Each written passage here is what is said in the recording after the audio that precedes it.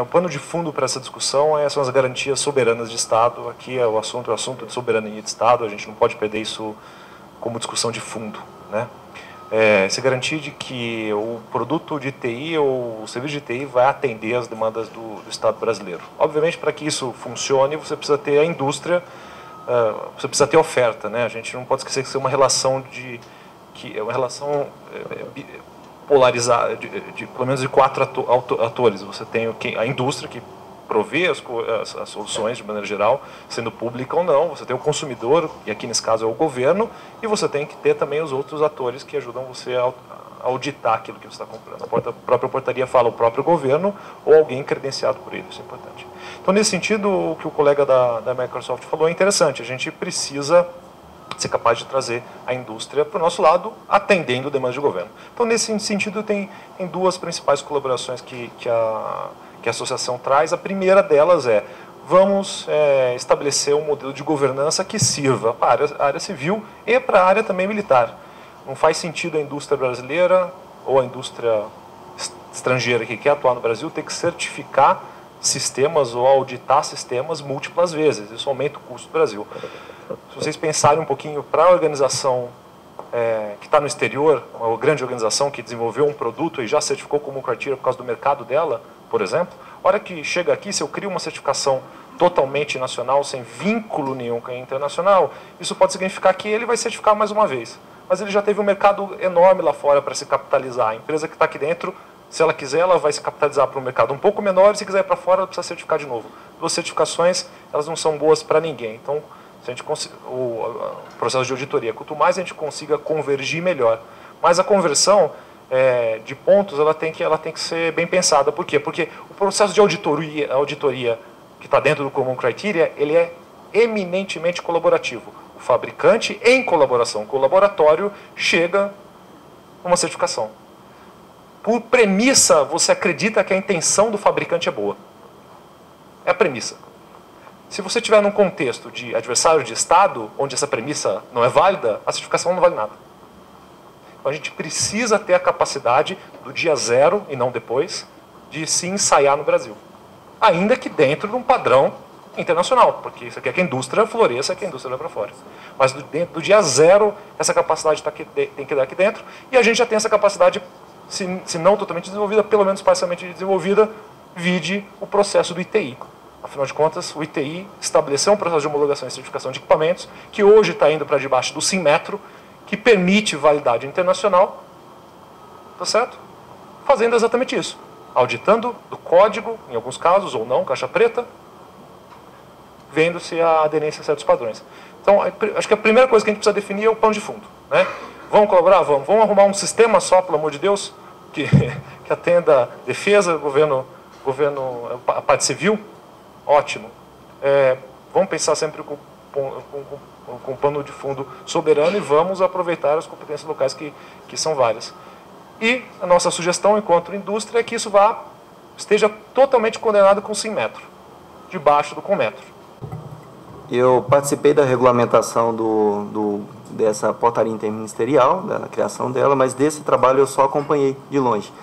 É, mas eu estou participando ativamente do, do, do um trabalho no CDCIB, que basicamente é a criação de um sistema de homologação e certificação de equipamentos, que é como o Galo disse, o, o Roberto Galo disse, é o que está por é, pano de fundo desses dois sistemas, é a mesma coisa. E a preocupação dele, só para deixar clara, que é a mesma minha também, é que a gente está criando dois sistemas. Um sistema que vai para a defesa, que representa todas as forças que tem uma compra significativa. Eu imagino que a Cisco, a Microsoft e os outros queiram vender para a defesa também, né? E tem um outro que está sendo criado para a área civil, que é esse aqui que vocês estão vendo.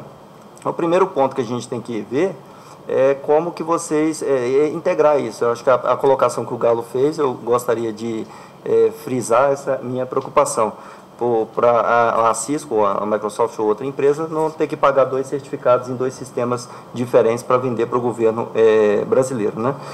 É, que está basicamente é, abordando a questão que vocês levantaram, vocês estão preocupados com justamente quantos certificados eu vou ter que emitir. Hoje vocês têm que um lá na, como criteria para vender na Europa, agora vai aparecer mais um para o Brasil. Né? É, já, de certa forma, respondendo, é, o, o Common Criteria não atende a, a nossa. A gente tem condição de é, criar um profile, estendendo algumas coisas daquelas e tentar é, trabalhar de certa forma integrado, mas ele não atende 100%, pelo menos o, o da defesa e o, o, civil também não vai atender. Então essa esperança eu acho que é difícil, por mais que a gente queira o governo brasileiro a, a atender a, a, expectativa da indústria nesse ponto, eu acho difícil. Mas a outra questão a gente pode tentar, que é, ao invés de ter dois certificados brasileiros, a gente teria um só. Né? É, questão dos laboratórios internacionais, o colega falou muito bem, eu acho que nós precisamos ter, e nós já temos hoje muita capacidade de laboratórios brasileiros, que já dá para fazer muita coisa. E uma outra questão é, é, é o Inmetro, o Cimetro, que é, o, um falou sobre isso, o, o, o ITI também, eu acho que é, teria a falar sobre isso. Nós hoje já temos um CIMETRO, que não é o IMETRO, é o CIMETRO, é brasileiro, e ele é que cuida das é, certificações, homologações de produtos há, há quase é, 50 anos, uns 40 anos, mais ou menos. E hoje ele está trabalhando com essa questão é, cibernética também. Né? A vantagem de adotar o, o Imetro é que o Cimetro, que ele já se preocupa com essa questão de é, acreditação internacional. Então, o próprio sistema já está preocupado em adequar o normativo, adequar tudo com a, a, o ambiente internacional para facilitar justamente os produtos. Isso já é feito há mais tempo, antes de existir é, computador é, comercialmente aqui, é, já, eles já faziam isso com outras coisas, tentando essa equiparação da, do nosso normativo com o normativo internacional. Né? Então, a contribuição que eu teria para fazer, até mesmo para colocar como discussão, é como que nós poderíamos ter a questão da defesa e a questão da, da área civil trabalhando junto com o mesmo é, grupo de requisitos, sendo um dentro do outro. Eventualmente, a, a defesa teria níveis mais rigorosos, mas que é, incluiria a área civil. Então, se você paga uma vez o certificado, ia valer para a área civil. Essa, e, e é, trabalhar dentro do Inmetro, dentro do Cimetro, que seria criando lá uma, um PAC, que é um, um programa de avaliação de conformidade, a, a submete ao Cometro, tem todo esse processo já está definido. Né? Nós, sem dúvida, vamos passar, Galo, por uma discussão em que os ensaios têm que ser feitos dentro do país. Né? E o terceiro confiável aí, nós vamos dizer quais são. Quem deve ser? Pode ser o GSI, pode ser o CERPRO, a DataPrev, pode ser um colegiado é, misto aí, é, civil, militar, e sei lá. Então, vamos tentar fazer esse desenho. Agora, o, desafio que a gente lança é o seguinte: a, o modelo mental está lá no portal do, é, da, virtual da, do, do CD Cyber. Nós plotamos lá uma discussão que envolveu todo o segmento de governo, as empresas, o Galo estava lá representando outras empresas também, e o segmento do, do, do, do militar a plenária decidiu que a gente pode partir para um desenho de um sistema é, de certificação e homologação é, nacional, vinculado ao CIMETRO. Então, é um desafio que a gente faz. Agora, eu não vou discutir aqui comando Caraiti ou outra é, padrão internacional. A verdade é o seguinte, nós temos que seguir padrões internacionais, não é isso? Nós temos aí os acordos internacionais que levam a isso. Então, vamos, a, a, o desafio é, vamos desenhar esse sistema, vamos propor a inserção desse tema de que os ensaios têm que ser no território nacional e vamos criar uma rede nacional de homologação e certificação. Esse é o desafio que eu lanço a todos nós aqui. Ah, eu vim exatamente para dizer isso, porque não há como, numa, numa discussão como essa, fazer um aprofundamento técnico.